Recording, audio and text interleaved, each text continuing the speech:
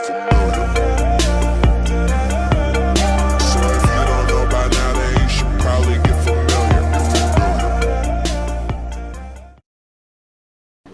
அவர்களின் நாகதேவி. அத்தியாயம் ஒன்பது திருமணம் எனும் தொல்லை. நாகையின் நாகர்கள் தலைவனான உபேந்திரன் இல்லத்துக்கு சாவகத்தின் நாகர்கள் தலைவியான நாகதேவியுடன் சுத்தானந்தர் என்ற சுத்ததத்தர் வந்ததும் வாயிலிலேயே இரு வீரர்கள் அவர்களை மிகுந்த மரியாதையுடன் வரவேற்றதாலும் இரு பணிப்பெண்கள் வந்து நாகதேவிக்கு ஆர்த்தி சுத்தி அழைத்ததாலும் ஏற்கனவே உள்ளூரே இருந்த நடுக்கத்திலிருந்து விடுபட்டார் குருநாதர். அன்று நாளின் படைத்தலைவன் தமது ஆசிரமத்துக்கு வந்தபோது விடுத்த வினாக்களையும் அவற்றில் துணித்த விஷமம் சந்தேகம் முதலியவற்றையும் கவனித்ததால் மிகுந்த கவலையுடன் படைத்தலைவன் நிலத்தை அடைந்த அவருக்கு அங்கு காட்டப்பட்ட மரியாதை மனசாந்தியை பெருமளவு அளிக்கவே செய்தது. தவிர இருவரையும் உள்ளே அழைத்து சென்ற பணிமக்கள் கூடத்தை அடுத்து ஒரு கட்டு தள்ளியிருந்த உபேந்திரனின் தனி அறையில் அவர்களை உட்கார வைத்தது கூட பரம திருப்தியாயிருந்தது குருநாதருக்கு. அந்த அறையை கவனித்த நாகதேவி கூட திருப்தி அடைந்தாள் அறையின் கிழக்கு சுவரில் வாயிற்படிக்கு மேலே காட்சியளித்த வெள்ளி ஐந்தலை அரவமும் அதன் கண்களில் படிச்சிட்ட ஐந்து மாணிக்க கற்களும் நாகனாய் இருப்பதில் உபேந்திரன் பெருமை கொண்டிருக்கிறான் என்பதை உணர்த்தியதால் தான் மட்டும் சாமர்த்தியத்துடன் நடந்து கொண்டால் வந்த காரியத்தை சாதிப்பதில் அதிக கஷ்டம் இருக்காது என்பதை புரிந்து கொண்டாள் நாகதேவி. ஆனால் தாங்கள் வந்த இத்தனை நேரத்துக்கு பிறகும் படைத்தலைவன் அந்த அறைக்குள் தலை காட்டாதது விசித்திரமாயிருந்தது அவளுக்கு. அந்த சமயத்தில்தான் குருநாதர் உபேந்திரன் எங்கே? என்று விசாரித்ததும் பணிமகன் எசமானர் அவசர வேலையாக வெளியே போயிருப்பதாகவும் சீக்கிரம் வந்துவிடுவார் என்றும் பதிலளித்தும் அவளுக்கு இயற்கையாக இருந்த சந்தேகத்தை அதிகப்படுத்தியது. அதனால் தனது கண்களை குருநாதன் மீது சீற்றத்துடன் திருப்பினாள் நாகதேவி. அந்த சீற்றத்தை தமது கண்களுக்கு மாற்றிக்கொண்ட குருநாதர் பணிமகனை நோக்கி எல்லா என்று குரலையும் சீற்றமொழிக்க அழைத்தார். சுவாமி என்று எல்லன் கைகட்டி வாய்ப்புதைத்து குழைந்து நின்றான். நாங்கள் வருவது உன் எசமானருக்கு தெரியும் அல்லவா? என்று மறுபடியும் கேட்டார் உஷ்ணமான குரலில். இங்கு அளிக்கப்பட்ட வரவேற்பிலிருந்தே தங்களுக்கு அது தெரிந்திருக்குமே குருநாதரே என்றான் எல்லன். எல்லனின் அதிகமான குழைவும் இடக்கான பேச்சும் குருநாதரின் சந்தேகத்தை மீண்டும் கிளறவே எல்லா என்னுடன் வந்திருப்பது என்று துவங்கிய குருநாதர் வாசகத்தை முடிக்கவில்லை. அதற்குள் எல்லனே முந்திக்கொண்டு நாகதேவி அரசகுமாரி எசமானரே சொன்னார்கள். எல்லா வெளிநாட்டு அரசகுமாரியுடன் நமது குருநாதர் வருவார். பெருமக்களை அழைக்கும் முறையில் அவர்களை அழை. என் அந்தரங்க அறையில் உட்காரவே. அவர்களுக்கு சகல உபச்சாரங்களையும் செய் என்று என்றான். பிறகு தேவியை நோக்கி தேவிக்கு சிற்றுண்டியும் பானங்களும் சித்தமாக வைத்திருக்கிறேன். கொண்டு வரட்டுமா? என்று வினவினான். குருநாதன் மெல்ல தமது நகைச்சுவையை காட்டி பானமா எல்லாம் நாகதேவிக்கு தானா எனக்கு எதுவும் இல்லையா என்று வினவியதோடு புன்முறுவலும் செய்தார். எல்லன் அதிக பணிவை காட்டினான். அதை தங்களுக்கு சமர்ப்பிப்பது அபச்சாரம் என்று எசமானர் சொன்னார் என்றான். எதை? பானத்தை. என்ன பானம் அது? மது. இதை கேட்ட குருநாதர் சற்று சங்கடப்பட்டார். இப்படியும் அப்படியும் ஆசனத்தில் அசைந்தார் சங்கடத்தின் விளைவாக. நாகதேவியின் முகத்தில் எந்தவித உணர்ச்சியும் இல்லை. அவளும் எல்லனை அழைத்தாள். எல்லா என்று. உன் பெயரும் நாகர்கள் பெயராகத்தான் இருக்கிறது. நீயும் நாகனா? என்று வினவினாள். ஆம் தேவி. விருந்தினர்களை வரவழைத்துவிட்டு அழைத்தவர் வெளியே போய்விடுவது நாகர்கள் பண்பாடில்லையே. இல்லை தேவி. தமிழர் பண்பாடும் அப்படி இல்லை. எதிர்பாராத செய்தி ஏதோ வந்ததால்தான் எசமானர் வெளியே போனார். இப்பொழுது வந்து விடுவார்கள் என்று சமாதானம் சொன்னான் எல்லன். அந்த சமயத்தில் வெளியே வேகமாக வந்து நின்ற ஒரு புறவின் குளம்படி ஒளிகள் கேட்டன. அதையடுத்து தேவியாரும் குருநாதரும் வந்துவிட்டார்களா? என்று உபேந்திரனின் அதிகார குரலும் கேட்டது. அடுத்த இரண்டு வினாடிகளில் உபேந்திரன் உள்ளே நுழைந்து குருநாதருக்கும் நாகதேவிக்கும் தலைவணங்கினான் அவன் உடையிலிருந்தும் நெற்றியில் புள்ளி புள்ளியாக தெரிந்த குரு வியர்வையிலிருந்தும் அவன் அங்கி ஒவ்வொரு இடங்களிலும் கிழிந்திருந்ததாலும் அவன் ஏதோ அவசர வேலையாக சென்று திரும்பி வந்திருக்கிறான் என்பதை குருநாதர் புரிந்து கொண்டார். ஆனால் அவன் கோலம் நாகதேவிக்கு சிறிது சந்தேகத்தை அளித்ததால் அவள் கேட்டாள் படைத்தலைவரே எங்கே இத்தனை அவசரமாக போய் வருகிறீர்கள் என்று? அரசாங்க பணி புறக்கணிக்க முடியாத நிலை என்றான் உபேந்திரன். எங்களிடம் சொல்லக்கூடாத ரகசியமா? என்று கேட்டாள் நாகதேவி. எந்த ரகசியமும் இல்லை தேவி. திடீரென சீனத்து கப்பல் ஒன்று வந்திருப்பதாக செய்தி வந்தது. அதை பார்க்க போனேன். அதில் மன்னருக்கு தேவையான சில பொருள்கள் சீன நாட்டிலிருந்து வந்திருக்கின்றன. அவற்றை பார்த்து கப்பலையும் சோதித்து விட்டு வந்தேன். சீக்கிரம் திரும்பிவிட வேண்டும் என்றுதான் கடற்கரை வரையில் புறவில் போனேன் என்றான் உபேந்திரன். உங்கள் அங்கி ஏன் கிழிந்திருக்கிறது? என்று நாகதேவி மீண்டும் கேட்டாள். சீன கப்பலின் பாய்மரம் ஒன்று விரிந்து சிலாம்பு நீட்டிக் கொண்டிருந்தது. அது மாட்டி கிழிந்து விட்டது என்று சர்வசாதாரணமாக சொன்னான் உபேந்திரன். இதை பற்றி இப்பொழுதென்ன? உங்களை நானே இருந்து வரவேற்காத குற்றத்துக்கு மன்னித்து விடுங்கள் என்று உபச்சார வார்த்தையும் சொன்னான்.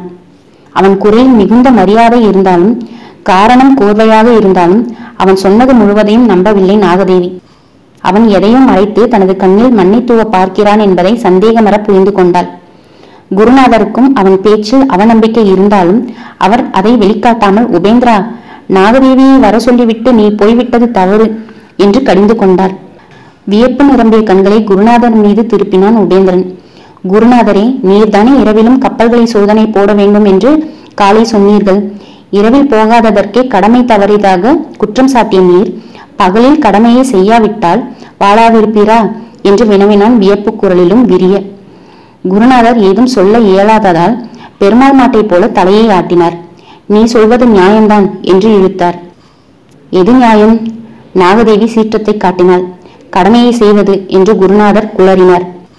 நாகதேவி குருநாதரை தனது கொள்ளும் விழிகளால் நோக்கினாள். குருநாதரே விருந்தினரை வரவேற்பது கடமையல்லவா? என்று சீரவும் செய்தாள். ஆம் ஆம். அதுவும் கடமைதான் என்று ஒப்புக்கொண்டான் உபேந்திரன். மேலும் சொன்னான் தேவி உங்கள் நாட்டில் எப்படி பழக்கமோ எனக்கு தெரியாது. தமிழகம் சம்பந்தப்பட்டவரை அரசாங்க அலுவல் சொந்த அலுவலை விட முக்கியம் என்று. நான் வந்திருப்பது அரசாங்க அலுவல் இல்லை என்று கேட்டாள் நாகதேவி. உபேந்திரன் அவள் பக்கத்தில் இருந்த ஆசனத்தில் அமர்ந்து கால்களை நன்றாக நீட்டிக்கொண்டான். தேவி நீங்கள் வந்திருக்கும் அரசாங்க அலுவல் வேறு. ஆனால் தேவி என்று இழுத்தான் சொற்களை. என்ன? தேவி கடுமையான குரலில் கேட்டாள். உபேந்திரன் இதழ்களில் புன்முறுவல் விரிந்தது தேவி உங்களை நான் திருமணம் செய்து கொள்கிறேன் என்று வைத்துக் கொள்வோம் என்று தொடர்ந்தான். உபேந்திரா என்று அதட்டினார் குருநாதர்.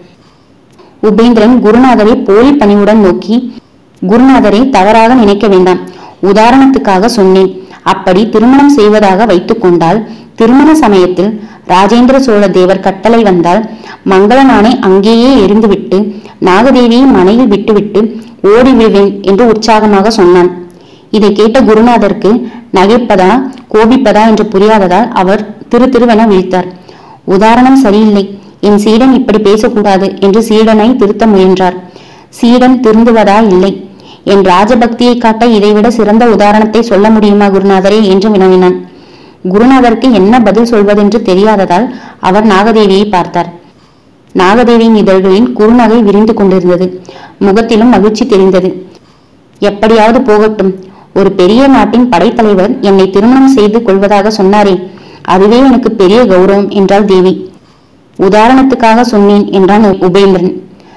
நமது வாக்கு தெய்வத்தால் இயக்கப்படுகிறது என்று நாகதேவி சொன்னாள்.